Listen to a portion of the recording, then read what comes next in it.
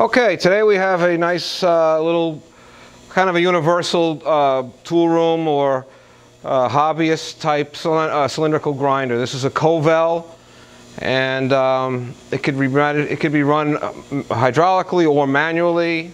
Uh, it has a swing down ID attachment which you see here right now uh, with variable speed and a little chuck on here that holds quarter inch tooling whether a stone or diamond.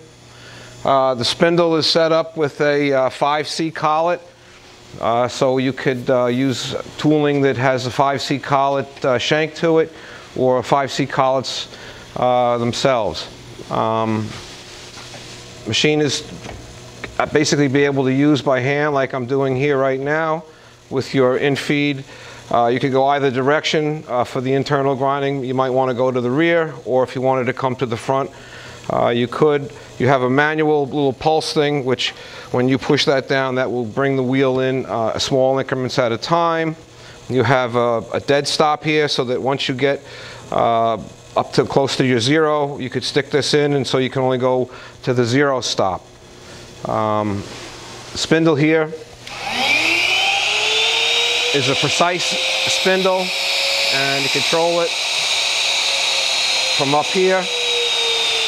So, you know, an operator can sit here and just, you know, do small parts, whatever. Um, it's pretty neat. So, also, you know, this doesn't have to be used. It can be swung back out of the way.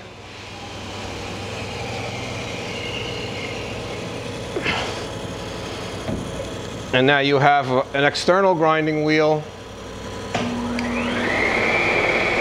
that you can again, manually do small little jobs in your shop, you know, where you don't want to use another machine or a bigger, more, you know, important machine in your shop.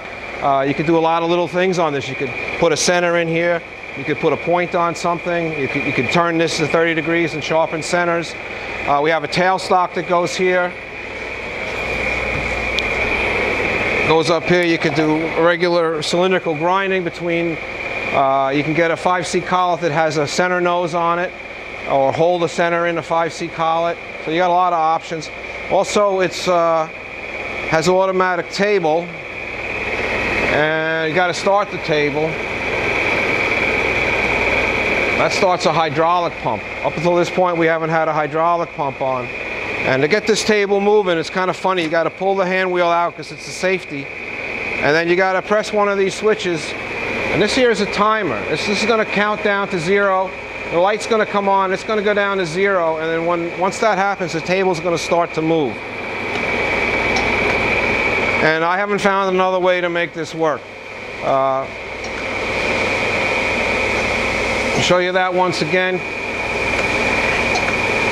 You go from the hydraulics being off or the hand wheel being in. You can't start the hydraulics with the hand wheel in. So start the table. This is your little dwell. When I press the switch down and I let go, this timer activates every time. That's your, that's your, that's your tarry or your dwell. And I can increase this.